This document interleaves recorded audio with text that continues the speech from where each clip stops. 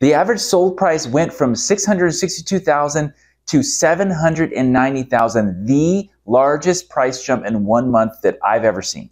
Here's the deal, guys. There's so much going on right now. We have really, really limited inventory, but there's a lot of good stuff to cover, so I can't wait to share it with you. Okay, check this out. We're seeing more than double of the houses sold this month versus last month. So last month, 32, this month 72. We currently have 72 homes active for sale and 66 pending. So we're seeing pendings go up. A lot of that is because of the California Dream for All program. Houses from 300 to 600,000 are all pending. They're flown off the shelf. Average sales price is $321. That's up $5 from last month. Something also worth looking at is that the average days on market is 50 days. Now, that's only down 10 days from last month, but it going down is a good sign that we're moving in the right direction. Another good thing trending in the right direction is the average list price versus sold price, how much you list your house versus how much you sell it for, is 97, which means homes are selling at 97% of what they're listed for.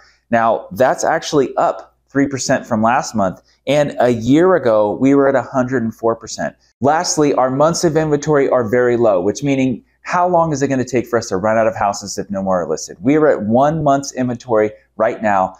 Uh, the last time we had under a month's inventory was April of 2022.